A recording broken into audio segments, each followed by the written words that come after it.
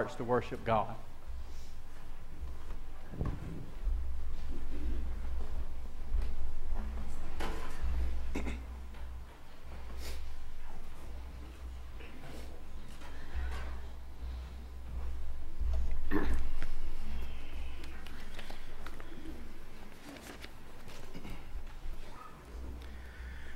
We'll be performing a piece this morning called In Remembrance by Jeffery Ames.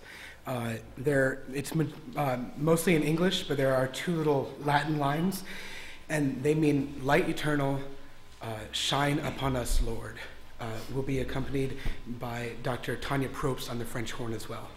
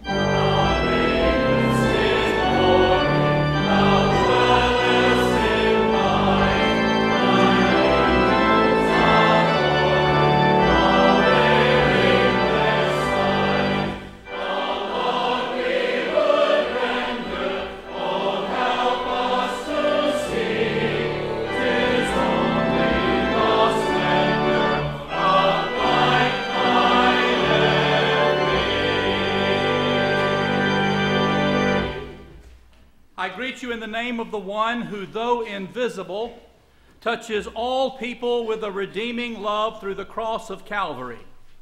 It is his love that gives us pause to worship in spirit and in truth and to confess our shortcomings before his throne of amazing grace.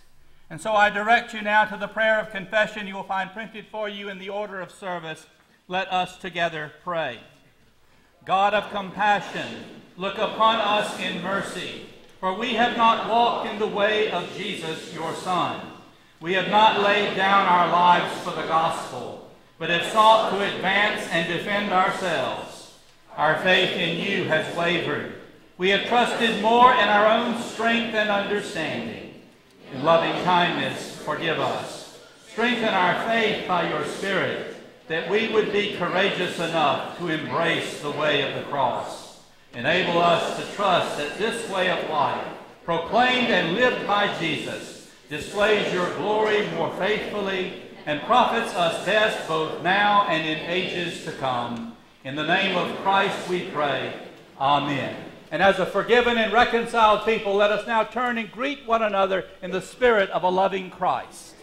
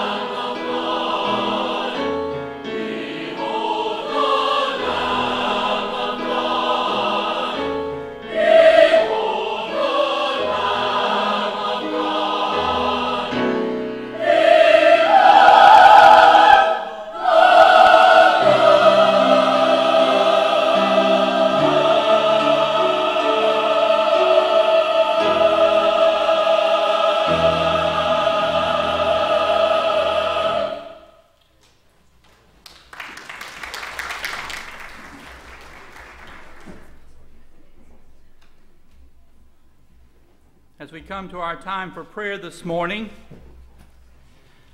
please be mindful of some of the following pastoral concerns. We want you to be aware that our staff member, Amy Flora's grandmother, has passed away, and the service celebrating her life will be in Shallotte uh, tomorrow morning. Please remember the family of Clarence Gramling, who passed away. And while not a member of this church today, he has a history within this community and this congregation, as well as many friends here in Myrtle Beach. Also, Jackie Hurst on the death of her mother. We ask you to please remember Jim Butts, who had emergency surgery yesterday for an issue with his heart and is in Grand Strand Medical Center in the ICU this morning. We also celebrate the birth of Janice Cardell's granddaughter, born in Columbia, South Carolina on February the 8th. And we want you to also be aware that Pat Gibbons is now a grandfather. His granddaughter was born yesterday in Charleston. Pat called me at 6:30 a.m but I'm still glad she's here. In that spirit, let us pray.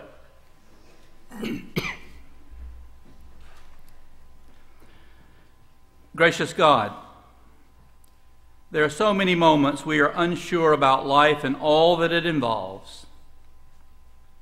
We often sing that you would enter every trembling heart and do your work of grace. Teach us this morning that while we ask you to enter our hearts, it's important that we strive to honor the place we already hold in yours. Your invitation sounds simple follow me. Yet as we try to follow, our selfish motives for life get in the way. Forgive us for those times when we do not want to decrease, that you can increase. We work hard to construct lives that satisfy our inner longings. And we are not a people who will surrender what we want very easily. As the words of a simple song testify, we have been fed to feed, and we are led to lead. Speak to our hearts this day, particularly through your servant, Dickie Knight reminding us that the journey of faith is not from a spectator's chair, but from living and breathing your truth and becoming Christ for this world. Give to us strength to surrender all portions of our hearts to your care and keeping and to your leading, O God. Remind us once more that the invitation to true faith is an invitation to come and die to self and to place our confidence in the cross. For we pray this morning in the name of the one who gave himself on the cross that we might have life. And we pray in his name and as Jesus taught us, saying, Our Father, who art in heaven, hallowed be thy name. Thy kingdom come, thy will be done on earth as it is in heaven. Give us this day our daily bread, and forgive us our trespasses, as we forgive those who trespass against us. And lead us not into temptation, but deliver us from evil. For thine is the kingdom, and the power, and the glory forever. Amen.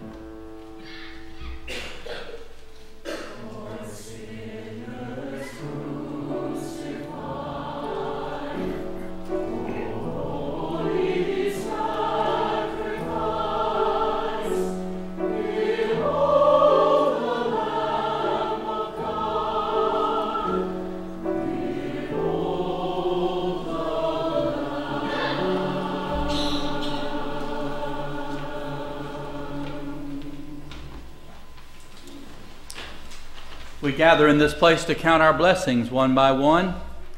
There are many blessings that I would like to lift up this morning. Allow me to share these two.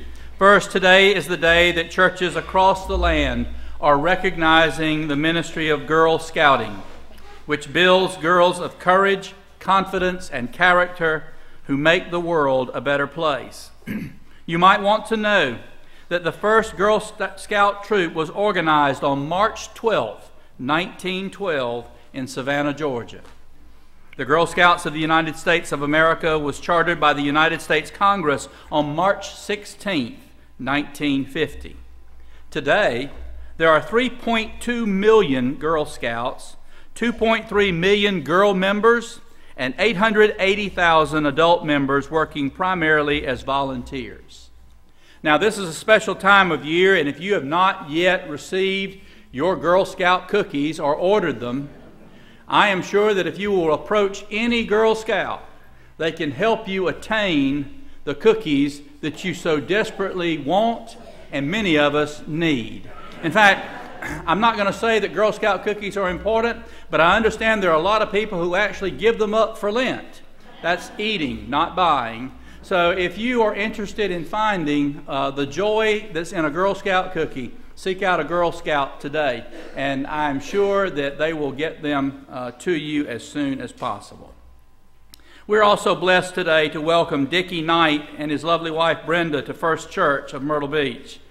Dickie serves as our district superintendent of the Marion District, and we are absolutely delighted that his schedule could, could accommodate his coming to us to preach for us. This is the initial time that he will preach for us. I'm sure in the next few years there will be other occasions and opportunities that he will do so, as well as leading us in our annual charge conference meetings that we hold here. Uh, of these things of Dickie, I know. He is a servant of God, he has a wonderful heart, a good spirit a warm handshake, and almost always a smile on his face.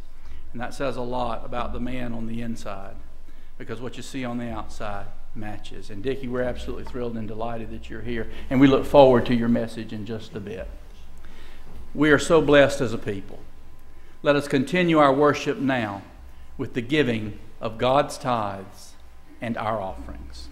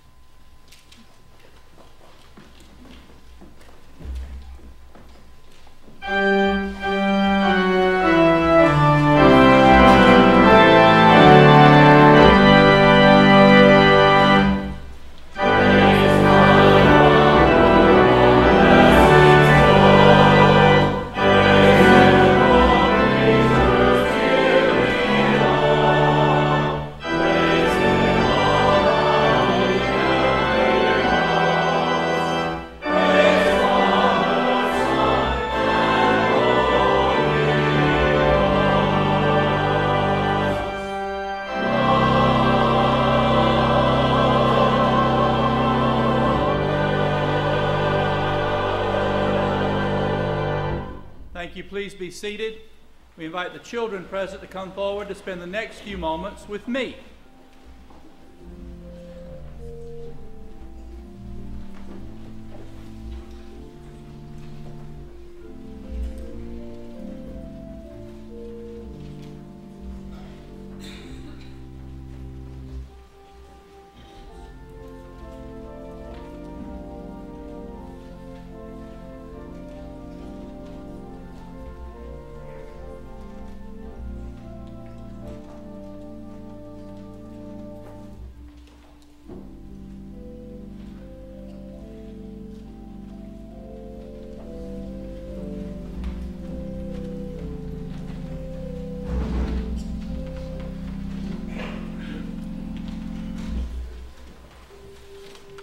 Good morning. I want you to put on your best listening ears because I've got a story to tell you, and it goes back to when I was not much older than you a very long time ago. We played a game that was called Follow the Leader. Now, some of the children at the first service this morning informed me that children are still playing that game even today. Follow the leader. Wherever the leader would go, that's what we'd do. To the playground, we'd go out there. If the leader climbed a tree, we climbed a tree. If, if the leader ran up the hill, we ran up the hill. If the leader fell down the hill, then we all fell down the hill. We did what the leader would do, and we learned in that simple game that following is a good thing to do as long as the leader is good. But if the leader asks us to play in the street, no way. If the leader asks us to say bad words, no way. A good leader is somebody that you follow. A bad leader is someone that you leave behind. You don't listen to bad leadership. Jesus was a good leader in every way. He led people to love one another to always speak the truth, to forgive each other, and to not be so angry with each other that we are tempted to do bad things to other people. Yeah. Lent is a time when Christians, no matter how old we are or how young we are, make a decision to follow Jesus because Jesus is our leader. In fact, that's what church is really about. When we come to this place, we learn every Sunday how to follow Jesus. And if the Lord does it, then we ought to do it.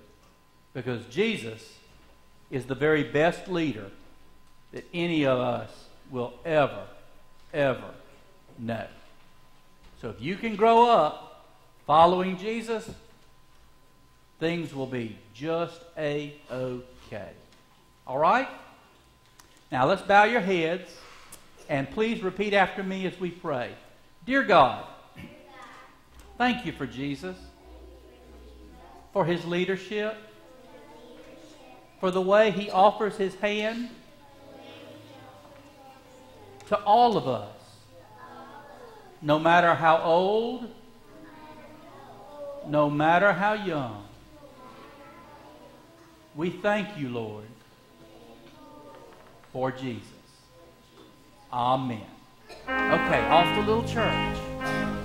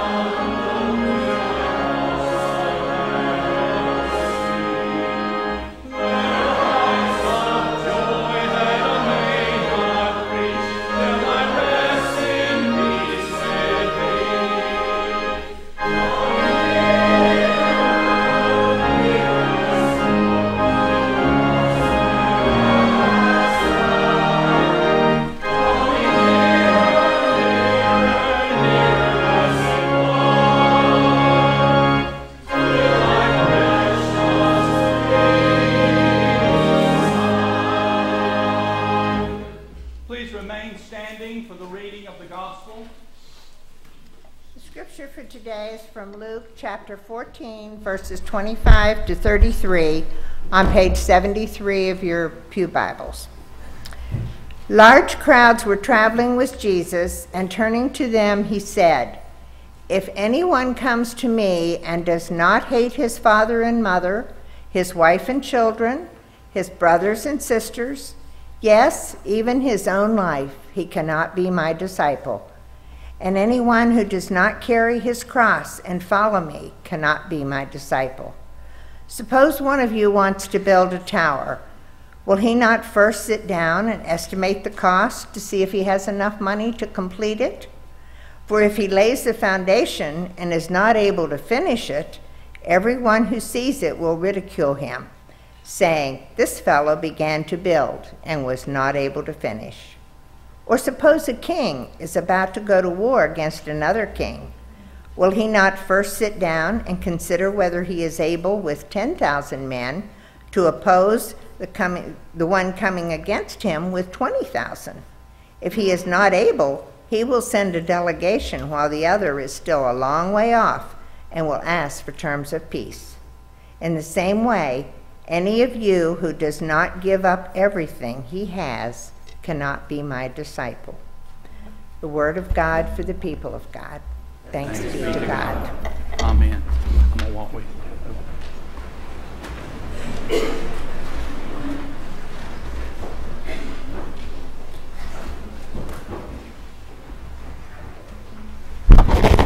All right, I want to say something to start with.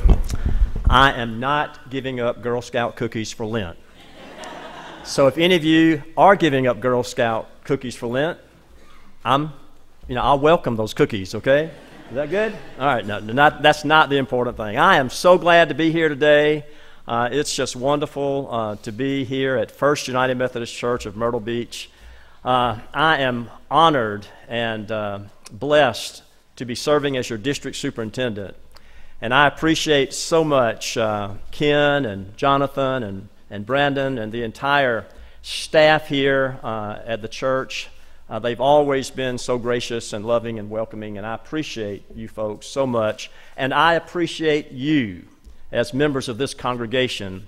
Uh, First United Methodist Church is indeed one of the great churches of the Marion District, and I'm so proud of you and thankful for you.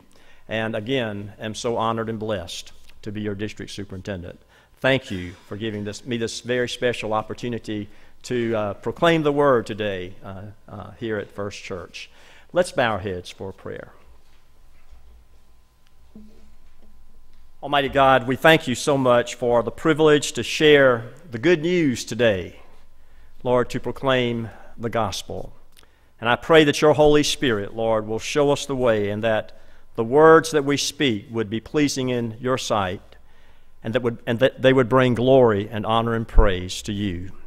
In Jesus' name we pray. Amen. I want to ask you something. You don't have to raise your hand, nod your head, or anything like this, but how many of you enjoy crowds? How many of you enjoy crowds? Now, if you're a young person and have ever been to a concert by maybe one of your favorite artists, I know that you enjoy crowds because I've seen some of that. I don't go to them, but I've seen the young people just jumping up and down and clapping their hands and raising their hands and all of that. And I'm sure that that um, you know is, is, stimulating and that young people enjoy that. They enjoy those kind of crowds. And I know some of you around Christmas time just enjoy those crowds at the mall, don't you? You get caught up in what everybody else is doing, and so you go to the mall and you do all your shopping and you enjoy being a part of the crowd doing your Christmas shopping. Now, what about sporting events? You know, some of you are, I know, I've been in most of the churches, or all the churches in the district, and in every United Methodist church in the Marion district, there are avid Tiger fans. And guess what? There are avid Gamecocks fans as well, you know? And so I know that. And uh, if you've ever been to any of those big football games of either team, you enjoy that, don't you? You get, you know, you get really caught up in the excitement of the crowd. For the last two football seasons, my son and I have had a day together at one of those Gamecock games, okay, in Columbia. And about two years ago, we went to that one where the Gamecocks clobbered number one Alabama. Do y'all remember that? About two seasons ago? They clobbered them, okay? And it was so exciting and exciting and so stimulating to be a part of that crowd that day, you know, as the Gamecocks won that game. So, crowds, you know, some people enjoy crowds, others might just enjoy being at home alone and just enjoying um, being there. Well, you know, crowds, think about crowds. When Jesus came along and was carrying out his ministry, he attracted crowds all the time, didn't he?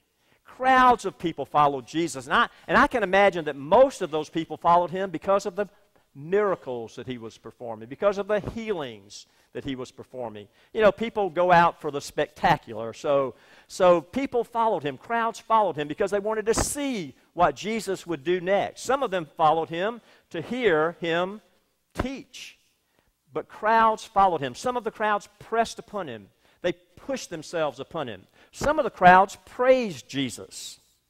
You and I are on this journey of Lent. You know, we're, we're, we're on this journey toward the cross and the empty tomb.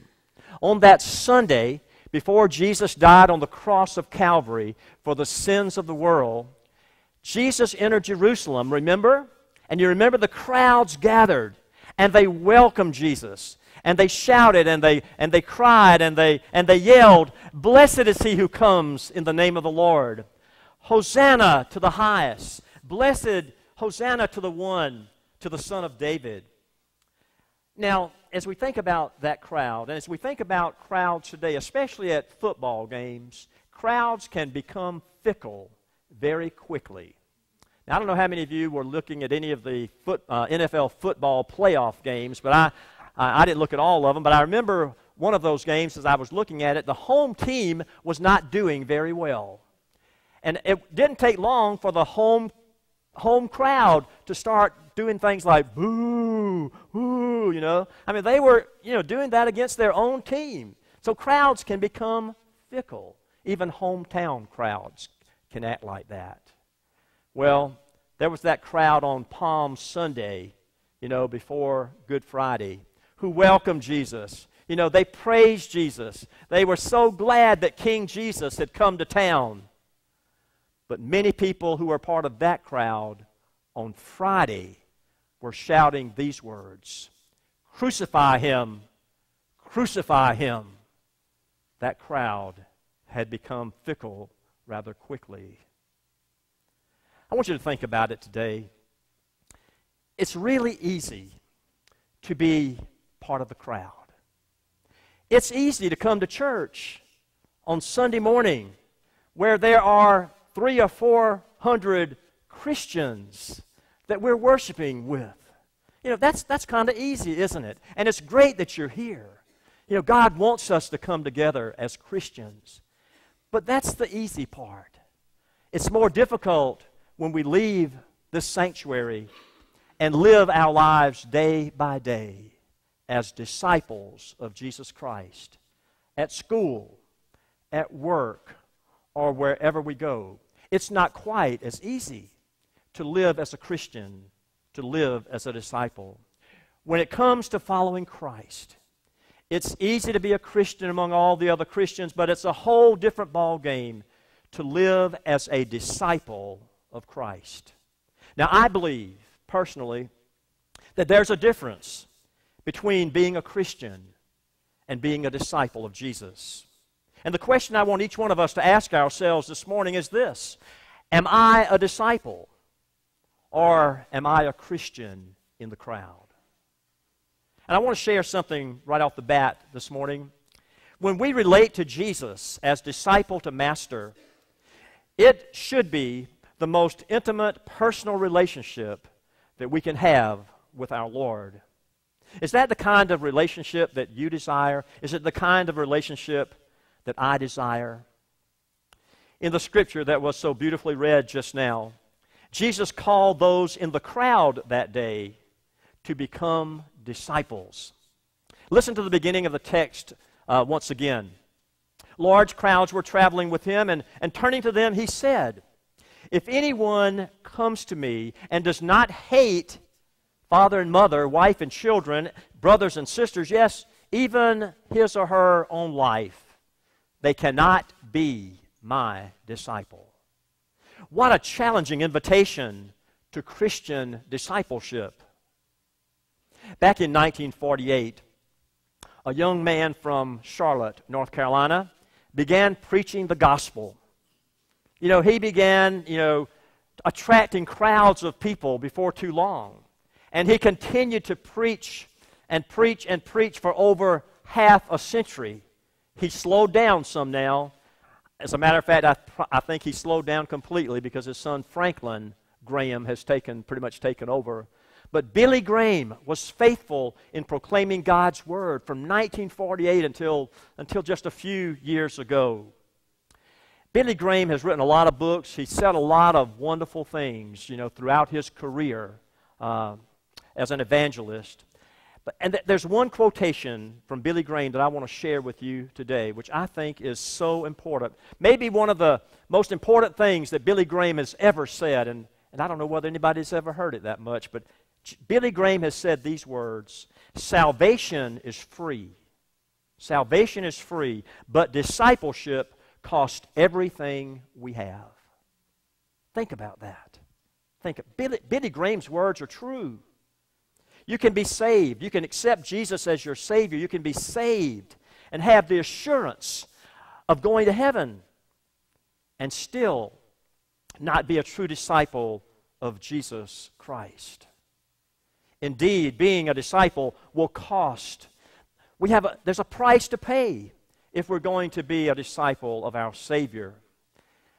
Listen to Jesus' words first. He says that, that you and I must, be, must hate father, mother, wife, ch- children, brothers, and sisters, and even our own lives, or else we cannot be His disciples. Now, that, that sounds like a radical teaching, and it is. It sounds even harsh, especially if we take that word hate in the literal sense of the word, and as we use it a lot of times today. I don't believe Jesus is saying that we should hate these special pe- people in our lives. Hate in the context of Scripture simply means to love less. Jesus is saying that loving Him must be our number one priority. We cannot love anyone or anything more than we love Jesus and be His disciple. Jesus must be our first love. It's so easy to, to, to, to get our priorities all messed up and to put so many things and, and to put even people before we put Jesus in our lives. You know, think about that rich young ruler that came to Jesus and, you know, he wanted to know what it would take to have eternal life. And, you know, Jesus really wanted him to, to be one of his followers, to be one of his disciples. And Jesus said to him, well, you know, you've got to do one thing. You've got to be willing to sell everything you have. You know, sell everything you have and give it all to the poor. And then come and follow me. You've got to be willing to make a sacrifice. You've got to be willing to give up something. Mark tells us in his gospel that that man's face fell. He went away sad because he had great wealth. His wealth was more important than following Jesus as a disciple. So many things can replace Jesus as our first love and our top priority family and friends, our career, material possessions, money, and even sports. But I say again, I say again, we cannot love anyone or anything more than we love Jesus and be his disciple. It's not a, it's not a question of hating anybody. It's a question of loving Jesus first and foremost. In the book, My Utmost for His Highest, Oswald Chambers writes a devotional called His, H I S with an exclamation point. It's expounding on Luke 14 26. Chambers says these words Any one of the relationships our Lord mentions in this verse can compete with our relationship with Him. I may prefer to belong to my mother or to my wife or to myself. But if that is the case, then Jesus said, You cannot be my disciple. This does not mean that I will not be saved, but it does mean that I cannot be entirely His. Entirely His. Being Jesus' disciple means that you and I must be entirely His. General William Booth, the founder of the Salvation Army, when asked about the secret of his amazing Christian life, responded with these words I told the Lord that he could have all that there is of William Booth. Entirely his. I'm sure that was General Booth's motto. Entirely his. Can you and I say that today? You know, we are taking this Lenten journey. And I, I wonder, I, and, I, and this is a challenge to you today. I wonder if you and I could start praying each day Lord Jesus, I really want to be entirely yours. I want to be entirely yours, not just during this Lenten season, but for the rest of my life. Entirely His. Jesus says that there's something else involved in being a disciple. He says that, and anyone who does not carry his cross and follow me cannot be my disciple. In a related passage from Matthew 16, 24, and 25, Jesus says, If anyone would come after me, he must deny himself and take up his cross and follow me. For whoever wants to save his life will lose it. But whoever loses his life for me will find it. Now, what's Jesus saying? He's saying that being a disciple will mean some sacrificing. The early disciples of Jesus certainly discovered this to be true. Many of them followed Jesus to torturous deaths. John Foxe, in his book, Foxe's Book of Martyrs, gives us some information based on tradition and based on fact. Here are some of the things that he says about how those disciples of Christ died. Peter was crucified upside down, testifying that he was unworthy to die as his Lord was. James, the son of Zebedee, was put to death with a sword by King Herod, and Matthew was put to death by sword in Ethiopia. James, the brother of Jesus, was thrown from the pinnacle of the temple to the ground a hundred feet below. When he, sur- when he survived, his executioners finished the job with a fuller's club. Bartholomew, also known as Nathaniel, was flayed to death by a whip in Armenia. Andrew, Peter's brother, died on an X shaped cross in Patras, Greece as he testified, I have long desired and expected this happy hour. The cross has been consecrated by the body of Christ hanging on it. It took Andrew two days to die, and all that time he shared the gospel with his executioners. Thomas was speared to death in India. Paul was tortured and beheaded in Rome in AD 67 by Nero. And Matthias, who took the place of Judas Iscariot, was stoned and beheaded. Like Jesus, many of his disciples then and since then have suffered persecution and paid the price with the confidence that in losing their life for the sake of Jesus, they would gain it for all eternity. That is good news for disciples in, in 2012 as well. Have you ever heard uh, the name Dietrich Bonhoeffer? I'm sure that most of you have, many of you have.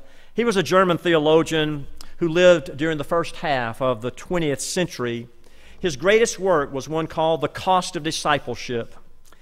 And in that book, he made this statement, and it's not politically correct, okay?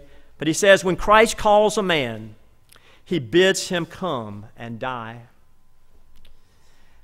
Dietrich Bonhoeffer was executed by hanging on April 9, 1945, at the age of 39. He had bravely resisted Hitler's Nazi regime, unlike many of the other German clergy. On a radio broadcast in Berlin, he rebuked the German church. Standing up as one of Christ's disciples, Bonhoeffer said, There can only be one Fuhrer or leader for Christians and it isn't Adolf Hitler. The radio program was brought to a sudden halt, a foreboding prologue of things to come. Bonhoeffer was willing to lose his life for Jesus' sake, and he gained eternity for it. You and I may not die, and we probably won't have to die as we stand up for Jesus. You know, there's a uh, I don't know whether how many of you have been listening to uh, any of the news programs this week and the last week or two, but there's been some news about an Iranian Christian pastor. Have you heard about that? Who is scheduled to be executed. He has been converted. He was converted, I think, years ago from Islam uh, to Christianity, and he is a pastor, has a wife and a couple of children. They've been showing his picture on television. You know, our president and a lot of the leaders of the world have have, are talking about and saying how inhumane that would be, you know, to persecute somebody, to execute somebody for their faith, even if they don't go along with all the other people in their country. So here we have a, a man right now who might be facing, you know, death for his, uh, for his faith in Christ. And you and I may not have to die for our faith, as I said just now, but, but carrying our cross means standing up for Jesus in a post Christian materialistic society that will often ridicule us for our morals and our faith in Christ. Just go out there in the secular world and take a stand for Jesus. You know, take a stand for Jesus. Take a stand for morality, and you'd better believe that you will probably be ridiculed and mocked. You know, you may not be tortured, you may not be killed, but you will be looked upon as foolish in the sight of the world. You know, you and I will never go through any kind of ridicule or torture like Jesus went through. As he, as he hung there on the cross of Calvary, Jesus took a lot. You know, the people ridiculed him, the rulers sneered at him. You know, the soldiers cried out, He saved others, let him save himself if he's the Son of God, the one that, the chosen one. If you're the king of the Jews, save yourself, they shouted. Those who carry their cross today can expect to be ridiculed and mocked and made fun of and taunted again as foolish by the secular world. Warren Wiersbe, an American pastor, Bible teacher, uh, co- conference speaker, and prolific writer of Christian literature, met a lady one time who said to him that her asthma was her cross. She said to him that her asthma was the cross that she was bearing, and, and Warren Wiersbe says that's not what Jesus had in mind. He says to take up the cross means to identify with Christ in his rejection, shame, suffering, and death. Now, are you, am I willing to do that? Cross bearing might get tough. But you and I have a lot of promises in God's Word. Promises like, hey, I'll never leave you, I'll never forsake you. Hey, greater is the one who's in you than the one who's in the world. And you and I have that promise that when we live as disciples of Jesus Christ, we can be more than conquerors through Him who loved us and gave His life for us. After using a couple illustrations about counting the cost of discipleship, about a builder constructing a tower and a king going to war, Jesus sums up everything in verse 33 when he says, In the same way, any of you who does not give up everything you have cannot be my disciple. Billy Graham is absolutely right. Salvation is free, but discipleship cost everything. Do you and I today love Jesus personally and intimately? Do we have a, a love for Jesus that, that goes far beyond any of our closest relationships here on earth? Are we satisfied with being a Christian in the crowd? Or are we willing to pay the price of being a disciple? What's it going to be as we continue this journey toward the cross of Calvary and remember all that Jesus did for us there? Jesus is reaching out his arms always, and he's saying to us as Christians, Are you going to be a disciple?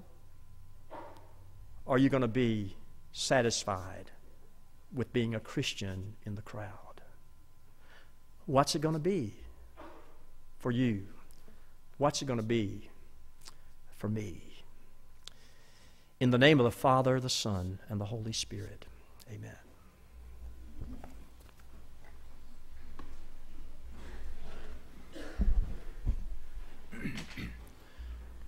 My friends, as disciples of Jesus Christ, I invite you now to stand as we speak words that affirm our faith, words that generations in the past have spoken and generations yet to be will speak, as we affirm our faith, the faith of the apostles. I believe in God the Father Almighty, maker of heaven and earth, and in Jesus Christ, his only Son, our Lord, who was conceived by the Holy Spirit, born of the Virgin Mary suffered under Pontius Pilate, was crucified, dead, and buried. The third day he rose from the dead. He ascended into heaven, and sitteth at the right hand of God the Father Almighty. From thence he shall come to judge the quick and the dead. I believe in the Holy Spirit, the holy Catholic Church, the communion of saints, the forgiveness of sins, the resurrection of the body, and the life everlasting. Amen.